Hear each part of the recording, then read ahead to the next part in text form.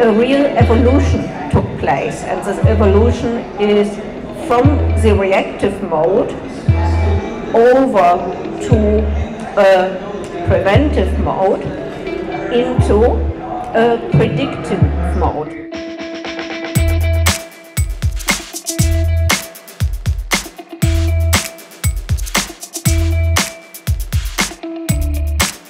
These things are amazing.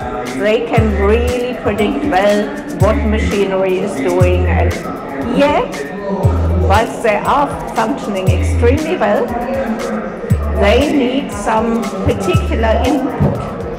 And that input is they need enough sensors to be in place. Not enough sensors, not enough input. No predictive maintenance they need enough connectivity because obviously you need to get the information from the sensors to that thing that's actually processing it. We try to develop all our solutions as modular as in any way possible and therefore they can work in many different areas.